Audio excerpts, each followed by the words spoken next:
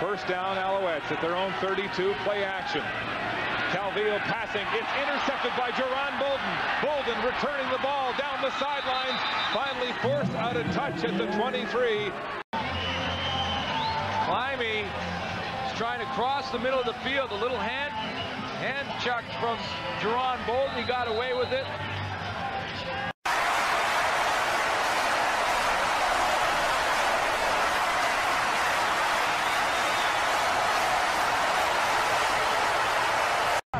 He does have the belt when it comes to covering receivers.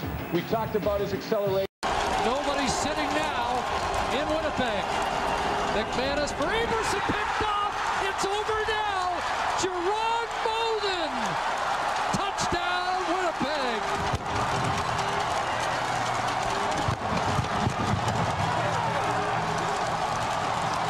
Ron Bolden does a nice job of just sitting on it, knowing almost baiting it. Just going to throw it out there, and he's just going to walk right in front of that, catch it, and waltz his way into the end zone, knowing with that touchdown, this team's going to the show. But they dug themselves a hole. They're first and 10 from their own four.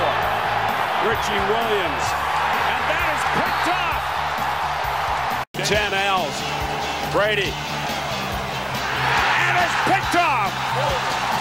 Juran Bolden. Big turnover. Bolden, right place, right.